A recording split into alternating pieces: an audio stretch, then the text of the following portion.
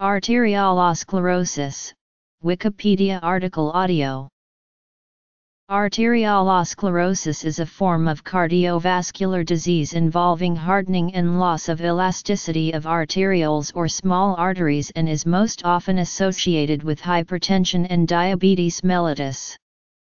Types include hyaline arteriolosclerosis and hyperplastic arteriolosclerosis both involved with vessel wall thickening and luminal narrowing that may cause downstream ischemic injury.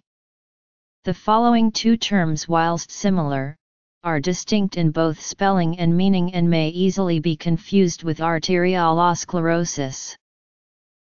Also arterial hyalinosis and arteriolar hyalinosis refers to thickening of the walls of arterioles by the deposits that appear as homogeneous pink hyaline material in routine staining. It is a type of arteriolosclerosis, which refers to thickening of the arteriolar wall and is part of the aging process. Hyaline arteriolosclerosis Hyperplastic arteriolosclerosis. It is associated with aging, hypertension, diabetes mellitus and may be seen in response to certain drugs. It is often seen in the context of kidney pathology. 284 In hypertension only the afferent arteriole is affected, while in diabetes mellitus, both the afferent and efferent arteriole are affected. Lesions reflect leakage of plasma components across vascular endothelium and excessive extracellular matrix production by smooth muscle cells, usually secondary to hypertension.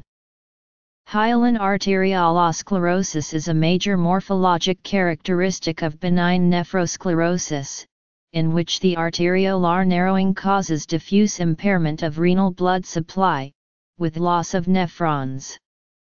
The narrowing of the lumen can decrease renal blood flow and hence glomerular filtration rate leading to increased renin secretion and a perpetuating cycle with increasing blood pressure and decreasing kidney function.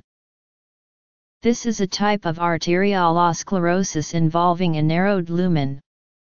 The term onion skin is sometimes used to describe this form of blood vessel with thickened concentric smooth muscle cell layer and thickened, duplicated basement membrane. In malignant hypertension these hyperplastic changes are often accompanied by fibrinoid necrosis of the arterial intima and media. These changes are most prominent in the kidney and can lead to ischemia and acute kidney failure. It can be caused by malignant hypertension. Arteriosclerosis is a general term describing any hardening of medium or large arteries. Atherosclerosis is a hardening of an artery specifically due to an atheromatous plaque. The term atherogenic is used for substances or processes that cause atherosclerosis.